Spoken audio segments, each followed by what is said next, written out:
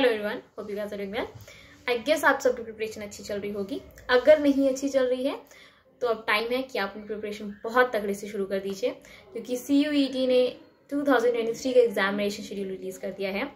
अगर हम M C entrance की बात करें तो ट्वेंटी फ़र्स्ट से थर्टी फ़र्स्ट मई के बीच में M C entrance C U E T का होएगा। अगर किसी भी वजह से ट्वेंटी फ़र्स्ट से थर्टी फ़र्स्ट मई के बीच में एग्जामिनेशन नहीं कंडक्ट करवा पाता है सी यू ई टी तो सी यू ई टी ने एक रिज़र्व स्लॉट भी दे रखा है which is first to seventh of June for C U T examination मतलब जो आपका एग्जामिनेशन होगा पर्टिकुलरली एमसीए का, वो फ़र्स्ट से सेवेंथ जून के बीच में होगा। अगर किसी भी वजह से 21 से इकतीस मई के बीच में वो नहीं हो पाता है, ठीक है? तो हर हाल में आप मान के चलिए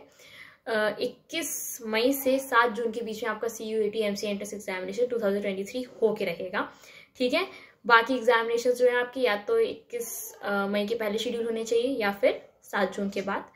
ओके हालाँकि एक बार डेट आउट हो जाएगी, जब you know specific date release हो जाएँगी, तब यू नो इस ड्यूरेशन में आपके सी यू टी की जो स्पेसिफिक डेट होगी, उसके आसपास बहुत सारे एग्जामिनेशन हो सकते हैं schedule that will not be a problem okay so best of luck for your preparation आपको एक अलार्म मिल चुका है अपने एम सी एंट्रेंस एग्जामिनेशन का तो अब उठ जाइए, अच्छे से तैयारी शुरू कीजिए एंड फोड़ दीजिएगा आपकी बार।